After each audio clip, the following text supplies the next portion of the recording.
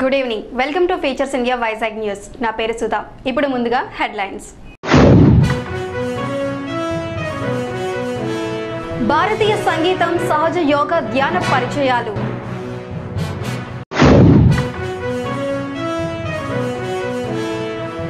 యువత అభివృద్ధి దేశానికే గర్వకారణం.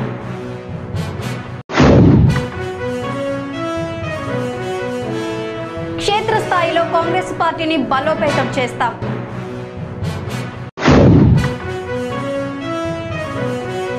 యువత మత్తుకు బానిసలు కావటానికి స్వార్థపరులే కారణం. ఇక వివరాలు చూద్దాం. భారతీయ విలువలున్న సంప్రదాయ శాస్త్రీయ సంగీతం సహజ యోగా ధ్యానాలు ఎంతో విలువలతో కూడుకున్నవని ట్రస్టీ కోఆర్డినేటర్ మధుసూదనరావు తెలిపారు. శ్రీ మాతాజీ నిర్మలాదేవి సహజ యోగా ట్రస్ట్ ఏపీ సారథ్యంలో ఈ నెల తొమ్మిది పది తేదీల్లో శాస్త్రీయ సంగీతం సహజ యోగా పరిచయ కార్యక్రమం జరుగుతుందన్నారు. ఏయూ కాన్వికేషన్ హాల్లో జరుగుతుందని పలు రాష్ట్రాల సంగీత విద్వాంసులు యోగా గురువులు పాల్గొంటారని అన్నారు. జిల్లా collector Praveen Kumar AU VC G Nageswararao GVMC commissioner Harinarayan భాషా సంస్కృతిక డైరెక్టర్ విజయ్ భాస్కర్ ముఖ్యులుగా పాల్గొంటారన్నారు. సహజ యోగాతో దైనందిత ఆరోగ్య సమస్యలు దూరమవుతాయన్నారు మధుసూదనరావు. ఈ యొక్క హెచ్ఎస్ శ్రీ మాతాజీ నిర్మలాదేవి సహజయోగ ట్రస్ట్కి రాష్ట్ర కోఆర్డినేటర్ అండి నేను. ఈ యొక్క ప్రోగ్రామ్ ఏంటంటే నైన్త్ టెన్త్ సెప్టెంబర్ తారీఖుల్లో మన ఆంధ్ర యూనివర్సిటీ కాన్వకేషన్ హాల్లో సహజయోగా అని మెడిటేషన్ ప్రోగ్రామ్ కండక్ట్ చేస్తున్నాం. ఇది ఫ్రీగానే కండక్ట్ చేస్తున్నామండి. ఇది ఈ ప్రోగ్రామ్ ఫ్రీగా ఎందుకంటే మన యొక్క విశాఖపట్నం జిల్లాలో ఉన్న అందరికీ కూడా మేము ఈ ధ్యానం చేస్తూ ఎంతో ఆనందంగా సంతోషంగా ఉన్నాం. ఇది అందరికీ కూడా తెలపాలనే ఉద్దేశంతో కండక్ట్ చేస్తున్నామండి. దీనిలో ఏంటంటే మహత్తరపూర్వం విషయం ఏంటంటే కుండలి అనే ఒక శక్తి జాగృతి అనేది జరుగుతుందండి. తద్వారా మనిషిలో ఆత్మ సాక్షాత్కారం అని ట్రాన్స్ఫర్మేషన్ జరుగుతుంది. తద్వారా మనిషిలో ఎన్నో మార్పులు వచ్చి సామాజికంగా ఎన్నో రుగ్మతలన్నీ క్లియర్ అయ్యి హ్యాపీగా ఉండగలిగే స్థితి అనేది వస్తుందండి. దానికోసం ఈ యొక్క ప్రోగ్రామ్ని పెద్దవాళ్ళందరినీ కూడా ఇన్వైట్ చేస్తున్నాం. అందులో భాగంగా మీ మీడియా ద్వారా ఈ ప్రజలందరికీ కూడా ఈ విషయాన్ని తెలపాలనే ఉద్దేశంతో ఈ ప్రెస్ మీట్ కూడా కండక్ట్ చేస్తున్నామండి దేశంలోని యువతరం మంచి మార్గాల్లో నడిచి ఉన్నతమైన స్థానం సంపాదించాలని మంత్రి అయ్యన్న పాత్రుడు హితవు పలికారు.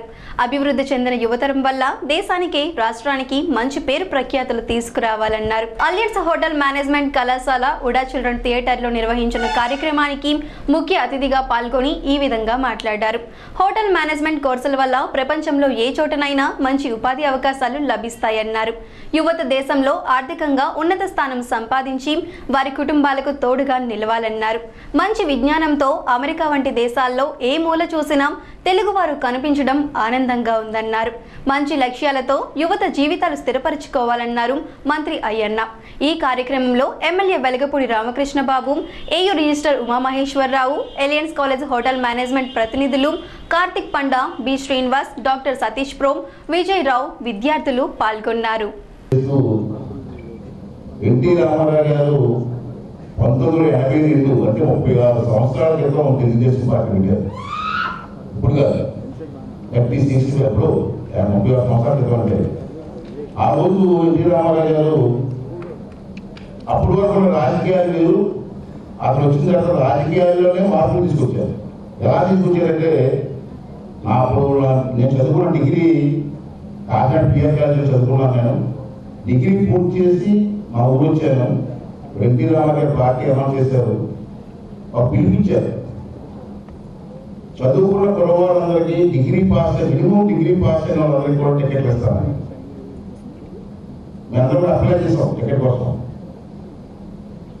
అప్పుడు వరకు రాజకీయాలు అంటే అరవై సంవత్సరాల పైన ఉన్న వాళ్ళే ఎమ్మెల్యేలు నాకు తెలిసిన మంత్రులు కూడా ఏ ముద్రలో ఉన్నారు ఆ రోజుల్లో సంతకాలు రాని మంత్రులు కూడా ఆ రోజుల్లో చేసే కాంగ్రెస్ టైంలో మంత్రులు చేశారు. మరి ఎన్టీ రామారావు గారు నూతన నిర్వచనం చెప్పారు చదువుకున్న వారు ఉండాలి రాజకీయాల్లో నూతన నిర్వచనం తీసుకురావాలని చెప్పి రెండు వందల యాభై ఎనిమిది సీట్లు ఉంటే నూట యాభై సీట్లు ముప్పై సంవత్సరాల లోపు వయసు ఉన్న వాళ్ళకి ఇచ్చారు ఎన్టీ రామారావు గారు. అందరూ engineers doctors lawyers degree pass అందరికీ. అప్పుడే రాజకీయాల్లో మలుపు చదువుకున్న వ్యక్తులు రాజకీయాలకు రావడం ఎమ్మెల్యేలు అంటే ఏంటి ప్రజాస్వామ్యం చెప్పినటువంటి సందర్భం. అటువంటి రాజకీయాలు ఇంకా రాను కూడా మారాలి. ఇంకా ప్రజలకు తోడుగా ఉండాలి. అందుబాటులో ఉండాలి. ఈ రాష్ట్ర అభివృద్ధి కోసం కృషి చేయాలని చెప్పి అతను కలగన్నారు నేను నాకు కలవరు స్టెప్ బై స్టెప్ చెప్పాలి వస్తున్నాయి ఇవాళ చంద్రబాబు నాయుడు గారు కూడా నేను మాట్లాడాను గట్టిగా చెప్పాలి ఎంతవరకు కరెక్ట్ నాకు తెలియదు కానీ చైనాలో కంపల్సరీ చేసే గవర్నమెంట్ ఫ్యామిలీకి ఒకే పిల్లలు ఉంటారు మళ్ళా కలిసి ఇంటిగా అమలు చేస్తారు కదా. ఇద్దరు పిల్లలు ముగ్గురు చైనాలో ఒకే అబ్బాయి అయినా అమ్మాయి అయినా ఇప్పుడు ఏం చైనా ఒక ఐదు అక్కడ ముసుగులు కనపడతారు కుర్ర కనపడతారు చంద్రబాబు నాయుడు మనకి ఐడియాలో లేదు ఇప్పుడు అట్లా ఏమన్నారు ఇక్కడ? ఒక్కొక్కరు ఇద్దరు పిల్లలు కనమన్నారు మన దేశం కూడా యూత్ ఉండాలి యూత్ ఉంటేనే దేశం బాగుంటుంది కాబట్టి యూత్ బలం ఉండాలి కాబట్టి ముసలాడు కాదు ముసలాడు మొత్తం కాదు. నాకు యూత్ మళ్ళీ రావాలంటే ఒక పిల్లలు కాదు ఇద్దరు పిల్లలు కావాలంటారు ఒక ఎన్ఎస్ స్లాగ్ ఇచ్చారు మనకి ఈ రోజుల్లో పూర్వం ఎవరు తెలిసింది హోటల్ అంతా డిగ్రీలు ఇంజనీరింగ్లు డాక్టర్లు చదువుకున్న తప్పించి ప్రతి ఒక్కటి ఏం చదువుతున్నా నెక్స్ట్ ఎవరైనా పొలం పాస్ అయితే టెన్త్ క్లాస్ ఇంటర్మీడియట్ పాస్ అయితే ఏం చదువుకుంటే ఇంజనీరింగ్ అండి అంటారు. కొంచెం ఇంకా నాలెడ్జ్ రోజులు డాక్టర్ అంటారు మరి ఇంజనీరింగ్ చదువుకున్న వాళ్ళందరూ కూడా ఉపాధి లేకుండా పోయే పరిస్థితి వచ్చింది ఇవాళ ఇప్పుడున్నటువంటి స్పెషల్ సిచ్యువేషన్లో టూరిజంకి మంచి స్కోప్ ఉన్నటువంటి ప్రపంచవ్యాప్తంగా టూరిజం మంచి స్కోప్ ఉంది. ఇది ఏ ఎక్కడికి వెళ్ళినా చూస్తే మీరు టూరిజం బ్రహ్మాండ డెవలప్ చేస్తున్నారు అన్ని గవర్నమెంట్స్ కూడా టూరిజం మీద డెవలప్ చేయడం కోసం చాలా అమౌంట్స్ ఖర్చు పెడతారు బడ్జెట్ కేటాయింపు చేస్తారు. కారణం ఏంటంటే టూరిజంలో ఉన్నటువంటి ఉపాధి ఎక్కడ దొరకదు. హోటల్స్లో కానివ్వండి టూరిజం స్పాట్స్లో కానివ్వండి రిసార్ట్స్లో కానివ్వండి గవర్నమెంట్ రిసార్ట్స్ కానివ్వండి ప్రైవేట్ కానివ్వండి బీచెస్లో కానివ్వండి ఎక్కడికి వెళ్ళినా సరే ఇవాళ ఉపాధి కనబడుతున్నాం అందులో ప్రపంచం అంతా ఒక విలేజ్ చెప్పింది ఈరోజు ఇంటర్నెట్ వచ్చిన తర్వాత ఇటువంటి కొత్త కొత్త టెక్నాలజీ వచ్చిన తర్వాత ప్రపంచం అంతా టెక్నాలజీ మారిపోయింది. ఒక విలేజ్ కనబడుతుంది. విశాఖపట్నం చదువుకున్న లండన్లో పనిచేసిన చాలా మంది ఉన్నారు విశాఖపట్నం చదువుకున్న అమెరికాలో చదువుకున్న చాలా మంది ఉన్నారు.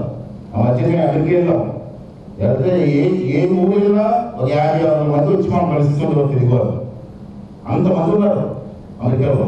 కానీ ఏంటంటే ఇక్కడ చదువుకున్నా ఎక్కడ చదువుకున్నా మనం ఒక చిన్న టాలెంట్ ఉంటే మాట్లాడే అవకాశం ఉంటే చిరునవ్వుతో పలకరించే స్వభావం ఉంటే ప్రపంచంలో ఎక్కడికి వెళ్ళినా బ్రతకడానికి చాలా స్కోప్ ఉంది మనకి. అందులో టూరిజంలో ఎక్కువ స్కోప్ ఉంది నేను వస్తున్నప్పుడు నేను నీ జాతీయ కాంగ్రెస్ పార్టీ క్షేత్రస్థాయి ప్రజా సమస్యలు ముఖ్యంగా దళిత వాడల అభివృద్ధి కోసం ఐక్యంగా పోరాడతామని విశాఖ కాంగ్రెస్ పార్టీ అధికార ప్రతినిధి వెంగళరావు తెలిపారు. టీడీపీ పాలనలో ప్రజలు పలు సమస్యలతో సతమతమవుతున్నారని మారుమూల గ్రామీణ ప్రాంతాల్లో కాంగ్రెస్ పార్టీని పూర్వ వైభవం తీసుకువస్తామన్నారు. దళితుల అభివృద్ధి ఎక్కడ వేసిన గొంగలి అక్కడే ఉన్నట్లుందని టీడీపీని విమర్శించారు. కాంగ్రెస్ పార్టీ సోనియా గాంధీ రాహుల్ నాయకత్వంలో మళ్ళీ ప్రజల ముందుకు వస్తుందని వస్తుందన్నారు రాష్ట్ర కాంగ్రెస్ పార్టీ సమన్వయకర్తలుగా కె. నరసింహరావు గెడ్డం వెంకట త్రినాథరావు కన్నేపల్లి సహదేవుడులను నియమిస్తూ పార్టీ నుంచి ఆదేశాలు వచ్చాయన్నారు. ఈ కార్యక్రమంలో సిటీ కాంగ్రెస్ అధ్యక్షులు బెహర భాస్కర్ రావు మాజీ ఎమ్మెల్యే ద్రోణంరాజు శ్రీనివాసరావు పేడాడ రమణికుమారి రమణ తదితరులు పాల్గొన్నారు.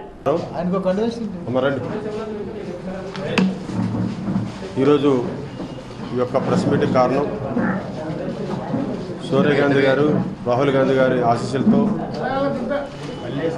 all India Congress SC department chairman అయినటువంటి కుప్పల కుప్పలరాజు గారి ఆదేశాలతో రాష్ట్ర అధ్యక్షులు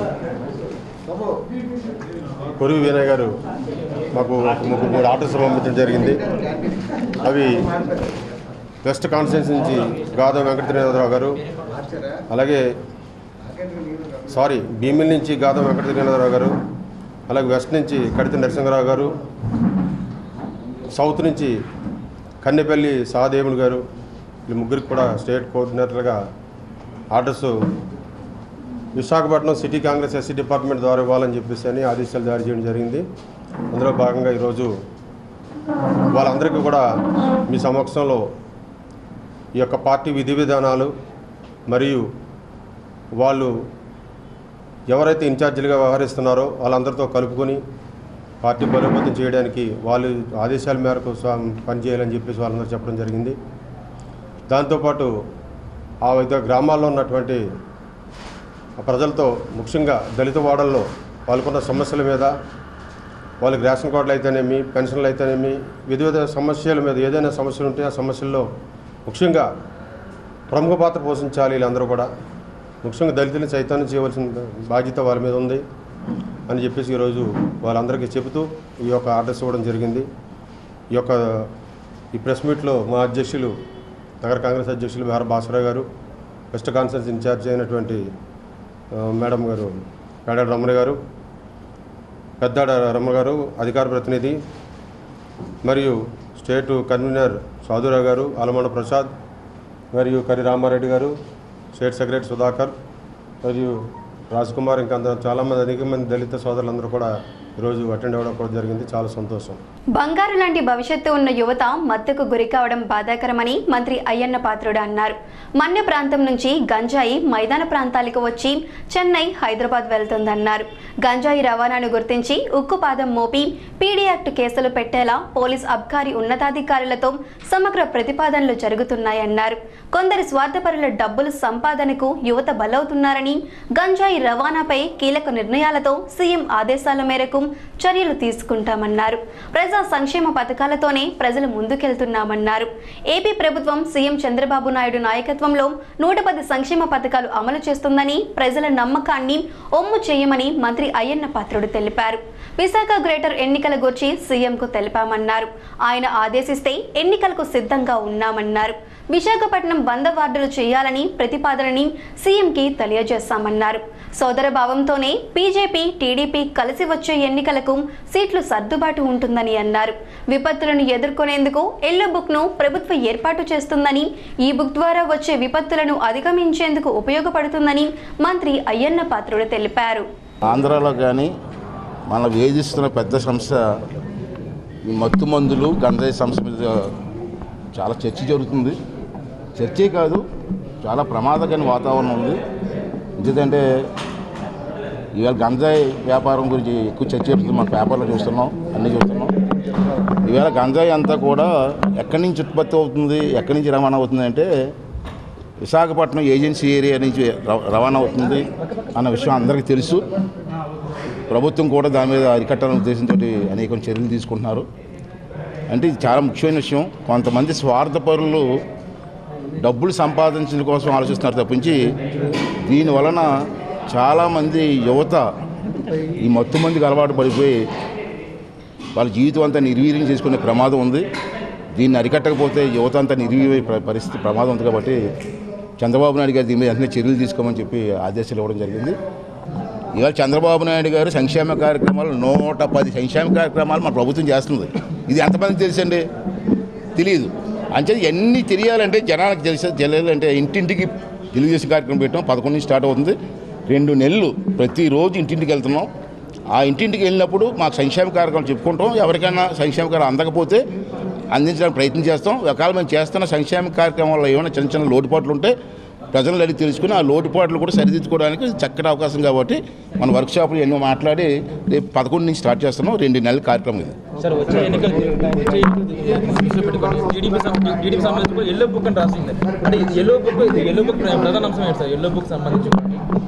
అంటే ఎల్లో బుక్ అంటే దాంట్లో పెద్ద విశేషం ఏం కాదండి. మన ఉద్దుత్ తుఫాన్ వచ్చింది. ఉద్దుత్ తుఫాన్లో చంద్రబాబు నాయుడు గారు ఇక్కడ ఉండి అఫీషియల్స్ అంతా ఏ విధంగా పనిచేశారు అన్నది ఒక బుక్ తయారు చేసాం మేము. బ్లూ బుక్ బ్లూ బుక్ అని. ఆ బ్లూ బుక్ ఏంటంటే రాబోయే తరాల్లో ఎప్పుడు తుఫాన్లు వచ్చినా సరే బ్లూ బుక్ పట్టుకుంటే టక్ టక్ మన కార్యక్రమం చేసుకోవచ్చు. అలాగే మా పార్టీ తరఫున కూడా ఏదైనా కార్యక్రమాలు చేయాలంటే ఎలా చేయాలి ఏ విధంగా ఫాలో అవ్వాలి ప్రజలకు చేరువుగా ఎలాగ వెళ్ళాలి నేను చేసిన కార్యక్రమాలు ప్రజలకు ఏ విధంగా ఎక్స్ప్లెయిన్ చేయాలన్నది ఒక ఎల్లో బుక్ తయారు చేయాలనుకున్నాం ఇది ఏంటంటే ఒక గైడ్ పిల్లలకు గైడ్ ఎలాగిస్తుందో గైడ్ లాగా రాబోయే కుర్ర వచ్చే కార్యకర్తలు కానీ నాయకులు కానీ ఈ గై- గైడ్ ప్రకారం వెళ్తే పార్టీకి బాగుంటుందని ఉద్దేశించారు ఒక వార్తలు ముగించే ముందు హెడ్లైన్స్ మరోసారి.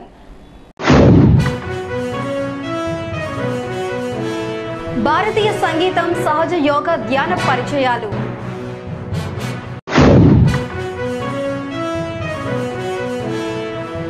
యువత అభివృద్ధి దేశానికే గర్వకారణం.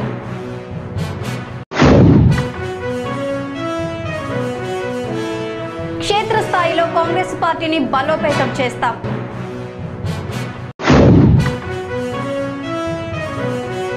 యువత మత్తుకు బానిసలు కావటానికి స్వార్థపరులే కారణం.